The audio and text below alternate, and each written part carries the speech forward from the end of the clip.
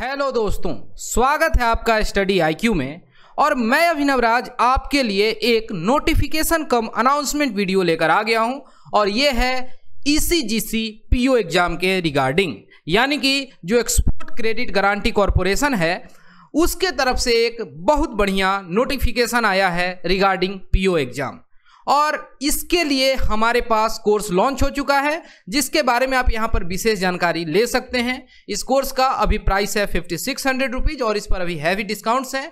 Course में more than six hundred videos हैं approx सात सौ वीडियोज़ हैं क्विजेज हैं लेक्चर के नोट्स हैं।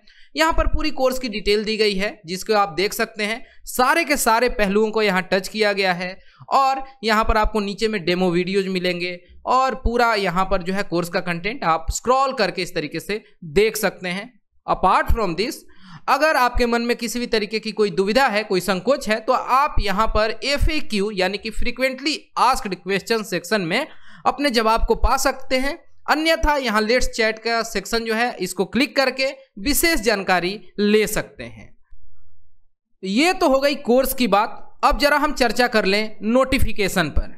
ये देख सकते हैं, यहाँ पर यह नोटिफिकेशन है ईसीजीसी लिमिटेड के तरफ़ से, और यहाँ पर बताया गया है रिक्रूटमेंट ऑफ़ प्रोबेशनरी ऑफिसर्स और यहाँ पर वो लिंक दे दिया गया है W W W dot E C G C dot in यहीं जाकर आपको अप्लाई करना है, और यहाँ पर पे स्केल बताया हुआ है तिरपन हज़ार छः सौ से लेकर नब्बे हज़ार छः सौ तीस रुपये इस तरीके से पूरा डिटेल यहाँ दिया गया है।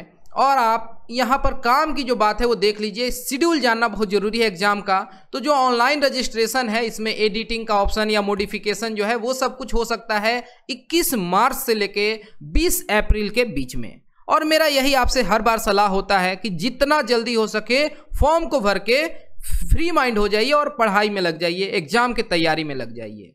जो ऑनलाइन एप्लीकेशन फ़ी पे करना है, उसके लिए भी सेम है 21 मार्च से लेके 20 अप्रैल 2022 और जो कॉल लेटर आप डाउनलोड करेंगे प्री एग्ज़ाम ट्रेनिंग के लिए, ऐसे कैंडिडेट्स जिन्होंने कभी ऑनलाइन मोड में एग्ज़ाम नहीं दिया है और वो जानना चाहते हैं कि किस तरीके से हम चीज़ों को फिल करते हैं, कैसे नेक्स्ट का ऑप्शन क्लिक करना होता है तो उनके लिए कॉल लेटर डाउनलोड करना होगा, वो होगा 25 अप्रैल 2022 के बाद से।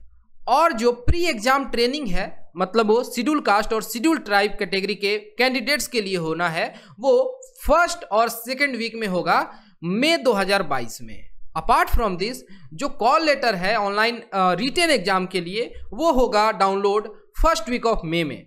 और फिर ऑनलाइन रिटेन एग्ज़ाम होना है 29 मई 2022 को। ये दिन जो है आप याद रखेंगे। और जो रिजल्ट्स आने हैं ऑनलाइन रिटेन एग्ज़ाम के, वो आ सकते हैं 15 से लेके 19 जून 2022 के बीच में और इंटरव्यू जो है वो होगा जुलाई या फिर अगस्त 2022 में। तो इसके लिए कैंडिडेट्स को चाहिए कि बीच बीच में अपडेट देखते रहें या हम भी अपने इंड से आपको अपडेट देते रहते हैं। टोटल जो यहाँ वैकेंसीज हैं, उनकी संख्या है पचहत्तर बैकलॉग वैकेंसीज पहले देख लें तो शेड्यूल ट्राइब कैटेगरी में एक है और टोटल यही एक बैकलॉग वैकेंसी है। इसके अलावा जो नए वैकेंसीज हैं और ये सब कुछ है 31 मार्च 2022 तक के लिए, इसमें कुछ चेंजेज हो सकते हैं, लेकिन अभी के लिए मान के चलिए तो शेड्यूल कास्ट कैटेगरी में 11 शेड्यूल ट्राइब में 9 ओबीसी के लिए 13 ईडब्ल्यूएस में सात, अनरिजर्व कैटेगरी में 34 और टोटल यहाँ पे हो गए चौहत्तर और एक बैकलॉग की वैकेंसी मिला के हो गए टोटल पचहत्तर। यहाँ पर चेंजेज वगैरह हो सकते हैं, ये भी देख लेंगे। यहाँ पर कुछ सीट्स जो हैं, जो वैकेंसीज हैं, वो हैं for person with benchmark disability यहाँ ओसी कैटेगरी में एक वीआई कैटेगरी में एक एचआई कैटेगरी में एक, जो फोर्थ कैटेगरी है, जो कि स्पेसिफिक लर्निंग डिसेबिलिटी है या मल्टीपल डिसेबिलिटी है, उसके लिए एक सीट है, यानी टोटल यहाँ पे चार सीट्स हो गए for person with benchmark disability eligibility criteria जान लेना बहुत ज़रूरी है। आप अप्लाई कर रहे हैं तो सबसे पहले आपका जो नेशनलिटी है, जो सिटीजनशिप है, उसकी बात कर दी गई है। इन चीज़ों में हमें टाइम नहीं वेस्ट करना है। एज जानना ज़रूरी है। तो 21 मार्च 2022 को आपका एज जो है कम से कम 21 साल होना चाहिए और अधिकतम जो है वो 30 साल होना चाहिए। यानी वो कैंडिडेट जिसका जन्म जो है 22 मार्च उन्नीस सौ बानवे के पहले ना हुआ हो और 21 मार्च 2001 के बाद ना हुआ हो, वो सभी लोग अप्लाई कर सकते हैं। यहाँ पर बता दिया गया है एज रिलैक्सेशन के बारे में कि शेड्यूल कास्ट कैटेगरी में पाँच वर्ष का एज रिलैक्सेशन है, शेड्यूल ट्राइब कैटेगरी में भी पाँच वर्ष का एज रिलैक्सेशन है। ओबीसी कैटेगरी जो है नॉन क्रीमी लेयर में, यहाँ तीन वर्ष का आप देख सकते हैं age relaxation. Person with benchmark disability दस वर्ष, और यहाँ पर एक सर्विसमैन कैटेगरी के लिए पाँच वर्ष।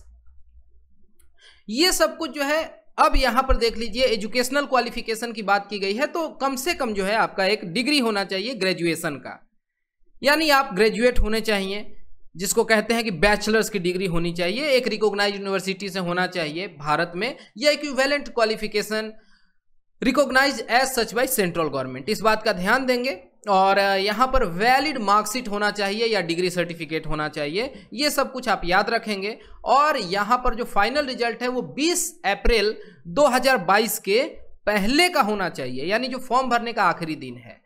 परसेंटेज वगैरह कैलकुलेट करने की बात की गई है और यहाँ राउंड फिगर वगैरह करने पर ध्यान देंगे कि 59.99 परसेंट को 60 से कम माना जाएगा।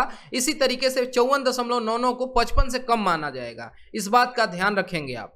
यहाँ पर बाकी अब कैटेगरीज जो हैं पर्सन विद बेंचमार्क डिसेबिलिटी में, उनको अच्छे से एक्सप्लेन किया गया है किस तरीके का जो इशू है तो उसके लिए कैसा सर्टिफिकेशन वगैरह होना चाहिए। इन चीज़ों को बहुत अच्छे से बता दिया गया है। और अब हम आगे बढ़ते हैं यहाँ पे। तो रिक्रूटमेंट प्रोसेस को बताया गया है कि जो पहला चरण है ऑनलाइन एग्ज़ाम होगा एमसीक्यू होंगे वो। रिटर्न एग्ज़ाम जो होगा मल्टीपल चॉइस क्वेश्चंस होंगे।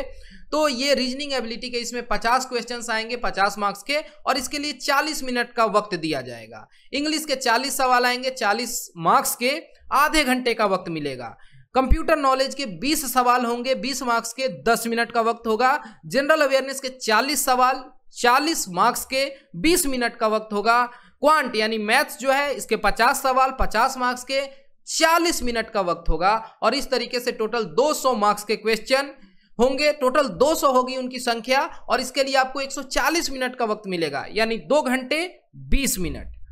जो डिस्क्रिप्टिव पेपर है, एसे राइटिंग और प्रेसिज राइटिंग आएगा यहाँ पे। इंग्लिश लैंग्वेज का यहाँ पर जाँच होना है। दो ऑप्शन होंगे, उसमें से एक लिखना होगा ऐसे और इसी तरीके से प्रेसिज लिखना होगा। बीस बीस मार्क्स के होंगे 40 मिनट मिलेगा फॉर बोथ क्वेश्चन समझ गए? ये सब कुछ होगा, उसके बाद आपकी जो है मेरिट तैयार कर ली जाएगी। और यहाँ पर ध्यान रखेंगे कि जो डिस्क्रिप्टिव पेपर है, ये इसको रिकॉर्ड किया जाएगा फॉर मेरिट लिस्टिंग ठीक है?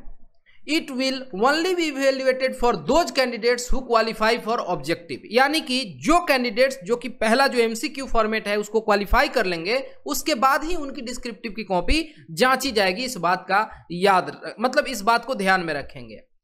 यहाँ पर आपके पास कुछ क्राइटेरिया पूरा होना चाहिए जब आप एग्ज़ाम देने आए। जैसे आपके पास एडमिट कार्ड होना चाहिए, फ़ोटो वाला आइडेंटिटी प्रूफ होना चाहिए और यहाँ पर एक आईडी कार्ड का जेरोक्स होना चाहिए। समय से आप पहुँच जाएँगे और यहाँ पर निगेटिव मार्किंग होता है। यहाँ पर देखेंगे कि वन फोर्थ यानी zero point two five marks जो है वो डिडक्ट कर लिए जाएँगे हर एक रॉन्ग आंसर के लिए। यहाँ एग्ज़ाम सेंटर का पूरा लिस्ट दिया गया है और कहा गया है कि कोई भी एग्ज़ाम सेंटर में चेंज को इंटरटेन नहीं किया जाएगा। ये सब कुछ आप देख लेंगे। कट ऑफ़ स्कोर वगैरह की बात की गई है, इसे को विशेष मतलब नहीं है अभी के लिए। आप चीज़ों को ध्यान से पढ़ाई पर ध्यान दीजिए। फॉर्म कैसे भरना है, इस बात पर फोकस करिए और लग जाइए एग्ज़ाम की तैयारी में।